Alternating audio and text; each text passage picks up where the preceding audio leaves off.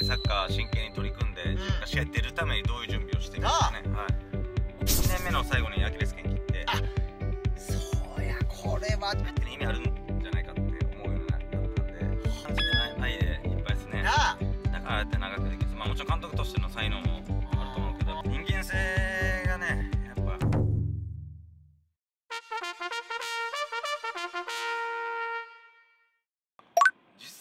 らから見ても今の代表の選手たちの能力の高さってうんうんうん分かるじゃないですか。わかるわかる。もう俺らの時はまたち、うんうん。ままだ入っていった時も、うん。まあ今のサッカーとはちょっとよりまた違うサッカーうんで言ったら違うサッカーかもしれないけどこの身体能力とこの技術の高さはもう圧倒的に上手くなってるわけやから。すごいね。はい、もうこんなんリスペクトでしかないし俺らがなんかじゃあ正直今引退して僕も代表ちょっと10試合ぐらいしか出てない俺があじゃあ代表に対してうんなんかありますかって言われてもうん。別にないっすよ。あうんみんなすごいってその一言に尽きるんで。そらそうや。それだけさ逆に俺らだって今の選手相当リスペクトしてるわけなんで。そらそうや。逆になんか言うこともおこがましいぐらいです俺ら。いやはい。そらそうですよ。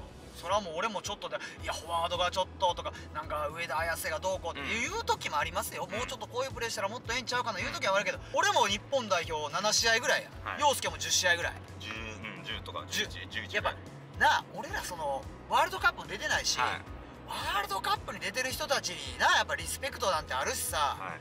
今の代表選手にもやっぱリスペクトしかないわけやん、うん。そらトゥーリオとかはさ、うん。あれはええやん。うん。あのキャラやから。そうそうそう。ヘイヘイヘイ日本の皆さんっつってさそのなんかいや俺も見あんま見えへんけどさうなんかニュースや流れてくるやん。うん。ヘボなんとかとかうん。どうこう。いやあれは愛やん。そう。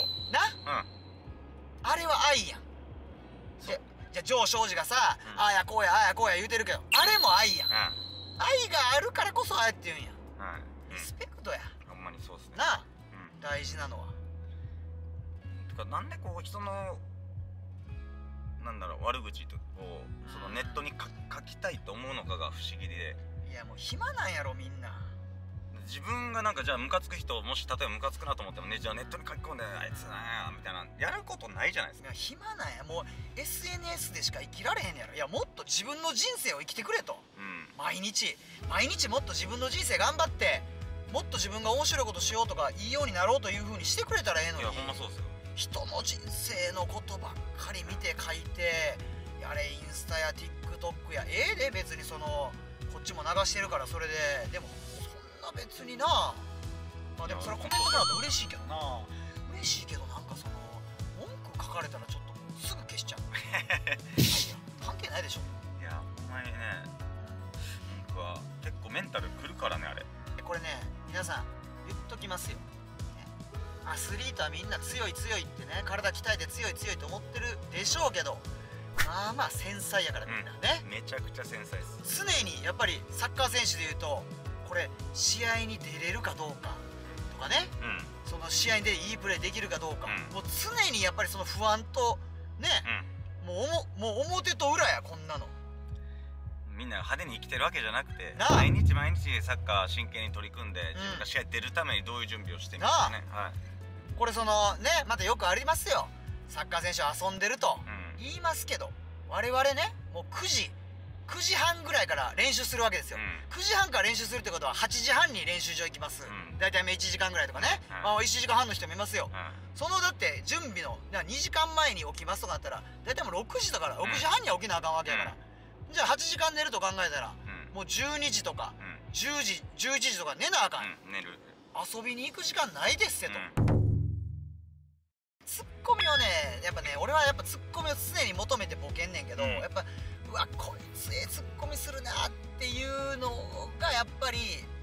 あのー欲しい。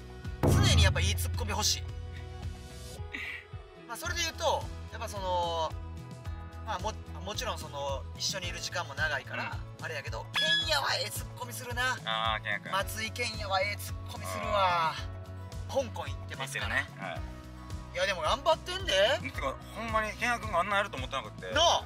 サッカー好きなんやな。いや好きなんや。やっぱみんな好きなんやいやだから陽介が結局何歳で辞めたんや？36で。6? 18年間。あー。じゃあこれはあなあ結構調子乗り世代みんなポンポンポンポン辞めていったな、ねはい。これこれ辞めるっていうのはいつぐらいからそのえ岐阜で何年やったん？3年っす。よ3年目か。まあでもまあその2年目の最後にアキレス腱切って。あそうやこれはちょっとあこれおばんざいドライブ。ああアキこれ今レス腱2回目ですけどこれ第1回目のゲストの人もアキレス腱切ってましてこれなんかアキレス腱ドライブみたいになってますけど。確かに。いやどうなんアキレス腱ってこれ。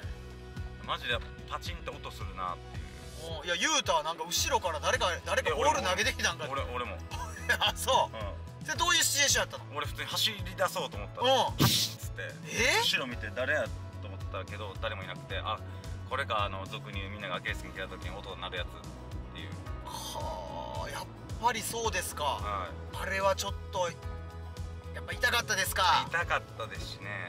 まあでももう全てに意味あるんじゃないかって思うようになったんで。はあ。これなんか意味あることなんやなと思っていろいろ考える時間にしようとかって思ってまあ復帰してもまあやれて1年かなみたいなもうその時には。あーそのやっぱり復帰の過程とかうやっぱもうアキレス腱まあだからそう再発みたいなのもやっぱ怖いわけでしょ？んもうねう最初もうだから車2ヶ月運転できなかったんです右足だったから。んもうアクセルが。うん踏めない。は結構大変やったっすけどね。あいや俺はもう幸運なことにその大きな怪我が一切なかったから、うん。手術もないし。えー、すごいそれやっぱあの大きい怪我した人とかやっぱ大変やな思うよね。あれバンさんに似てないですか？えいや確かに。めちゃくちゃバンさんじゃないですかあの人。これあの皆さん今これ今あの浦和の方に来ましてあの大宮の方に行きましてこれあのあれこれ何号線っていう36号線だったっけな。これ右曲がったら大宮のあの地下のあの高架の方行きますよのところの左側の子供を抱いてる外壁屋根塗装 えー、幸和幸和塗装工業。サムアップ。サムアップしてる人が子供っていうのが俺にまあ確かに似てる。いやなんかずっと見たら違うけど パッて見たらバンさん。いやこれはぜひ見てほしいな。幸和塗装工業、ね。一瞬だけやったらバンさんですよね。いや確かに。もうずっと見たら全然違うんですけど。これ陽介もしかしたらこの幸和塗装工業の人が俺にオファーかけてくる可能性もあるんちゃうかあるかもしれん。これそれそうしたらあのちっちゃい男の子お前お前の子供にややって。なんかデビューデビューどうや？なんでそこまでもう妄想いけるんですか？え？天才っすか？あちょっとアキレス腱の話になりましたけど、はそっからまあ1年ぐらいかかった。そんなかからへん。いいやなんだかんだ8ヶ月ぐらい。きついなあ。2ヶ月車も運転で。でもさ車もやっぱさそのアクセルが軽い重いあるからさ、う重い車乗られへんよって一番何もできんわけですよまあ、チャリもこげへん。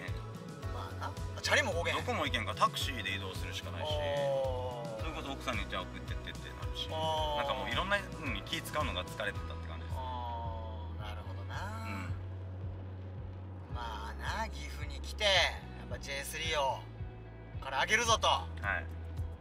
俺が柏木陽介やと。やっぱね難しいですね。いやいやこれはね皆さんバンドもね J3 行きましたよ。そんな簡単じゃないですから。うん。J1 でやったから J2 でやったからそれ J3 行ったら簡単にできるやろ。こんな甘くない。うん。サッカーはこんな甘くないんですよ。まあ私は優勝しましたけどね。昇格しました私は。確かに、はい。それはうまあ一つの仕事ですからん、ね。まあまあそうです、ね、僕はできなかったんでそこはやっぱ心残りめっちゃあるし。あーまあなうんまあでも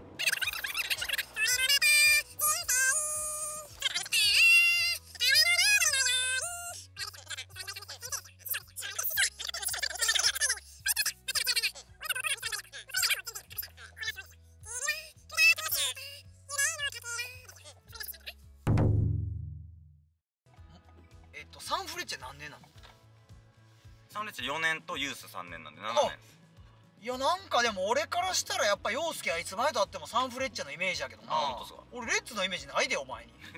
11年持って。うん全然ない。